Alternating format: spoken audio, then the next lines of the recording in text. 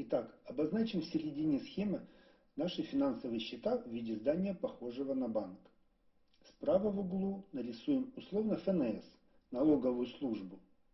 Мы знаем, что она имеет доступ к нашим финансовым счетам.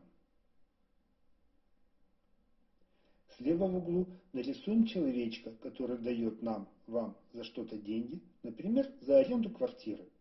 Ему очень удобно делать это путем перевода вам на банковскую карту.